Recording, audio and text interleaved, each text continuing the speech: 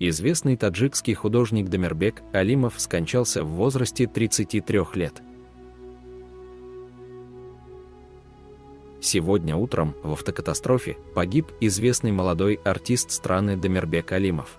Об этом сообщили его друзья и родственники в социальных сетях. Источник, близкий к певцу, сообщил Зия Плюс, что прошлой ночью он был на свадьбе в ресторане «Национальный парк» Бабаджангафуровского района и сегодня в 3 часа утра по дороге в ресторан попал в аварию с двумя музыкантами. Их доставили в больницу номер один города Худжанда, где, к сожалению, Дамирбек Алимов скончался.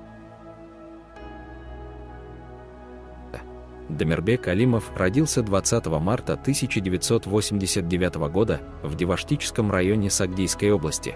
Его отец, Батуржон Алимов, тоже певец. После окончания средней школы в 1995-2004 годах учился в Институте искусств имени Садирхона Хафиза в Худжанде.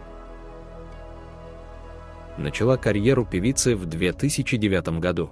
Работал в ансамбле из шести человек «Нури Худжанд» под руководством народного артиста СССР Джурабека Муродова и в коллективе «Голос Сагда». Женат, имеет трех детей, двух сыновей и одну дочь.